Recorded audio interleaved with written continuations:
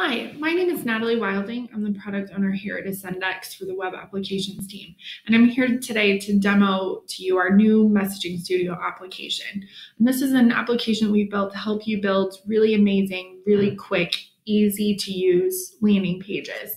Um, so I'm in the front page of our Messaging Studio application and I'm going to walk through how to actually build a landing page with you today.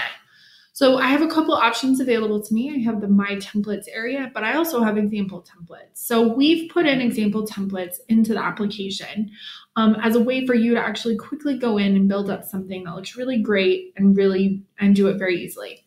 So I'm going to click on Sales Promotion 1 and I'm going to customize it, which is the option that's available to me here.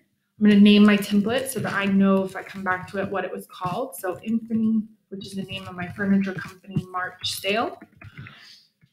On the introductory message, we've already provided that for you. You, of course, can tweak it however you'd like to. So in this case, I'm going to say buy in store this month. Um, and it's not really a cashback offer, it's more of a sale offer. So to get 30 to 40% off, click the link below for more information. So I do want them to know they can click the link for more information. So I'm going to click on my add rich content button and that will take me to my editor.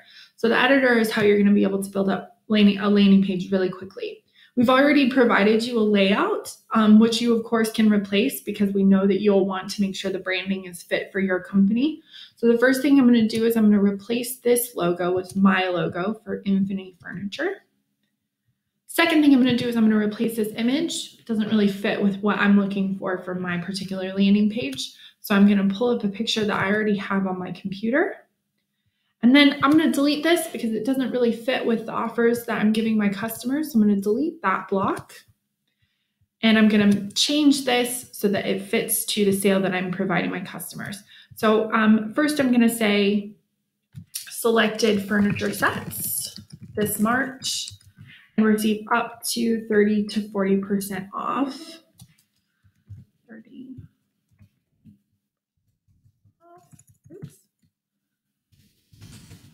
On any in-store purchase. I can change the colors, I can change the text size, alignment, and weight of my text. In this case, I want to make it blue, which kind of matches with um, my branding. If you want to make it your own color blue, you can go into our style tab and you can change any of the colors. So if I want to make this a darker blue, black, I can do that. We've also provided you the option for hex colors. So if you have a specific hex color for your brand, you can copy and paste that in here and it will match your branding. In this case, I'm going to leave it as blue because I like that it's blue. I can also do page padding and item spacing. Page padding will allow me to put a little bit more padding around my card, which is this area right here. But I can also change the spacing between my items. So I'm going to kind of leave it a little bit more inset and separated so that it looks a little more clean when my customers are viewing it. I'm going to go back to editing my text. So if I click on this and go back to item properties, I can change the text size. I'm going to make it large so it's a little more visible to my customers. And I'm going to make it bold so it's got that eye-catching pop to it. Next thing I'm going to do is I'm going to change my call to action button so I can change the display text, so what it says. I'm going to put view offers now on our website. And I'm going to change the link because I want it to go to my furniture company website. And I'm going to change the text color. Now you can change the text color, the background color, and the border color of your buttons. You can see that I've kind of outlined it a little bit more. I'm going to leave it as um, a white border color because I want it to be a little more clean when my customers click on it. So now I've got my um, landing page I've replaced all of the images that I wanted to replace on the example template. I've changed the text a little bit, but it didn't take me that long to do. So at this point, I can do a couple more things so I can change the settings. Page title is the title of the browser or tab whenever the user opens it up in a browser. Web preview, so the title is the title that pops up when the link, and this is for supported phones such as iOS and some Androids, when the link pops up in their phone in their messaging client, um, it will have an image and then underneath that a title kind of explaining what the link is when the user clicks on it.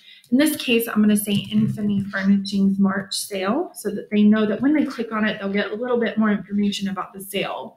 And I'm also going to put in my logo here so that when the customer uh, opens up that message, they know that it's from me, Infinity, and they know what it's going to be about. So at this point, I've done everything that I need to do. I did it very quickly and very easily. So I'm going to click on save. And now it'll tell me that my uh, my template was saved and I can actually see that for future uses, but I can send it right now as well. So if I click on send, it will take me to the first page of our send wizard. So that will allow me to choose my template if I went straight there through the send a message option on the left hand side, or I can um, upload my recipient spreadsheet. So in this case, I'm going to click on these phone numbers. I'm going to upload my spreadsheet. It gives me the green check mark, which means everything went okay. I'm going to click on next to go to the next page.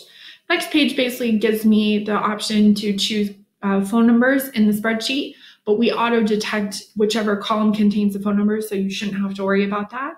Then I'm going to click on next, and this just kind of allows me to finalize my uh, campaign to send. So in this case, I'm going to name the campaign um, Infinity Furniture March sale so that when I want to look at my report later, I can um, go back and make sure that I'm looking at the correct report.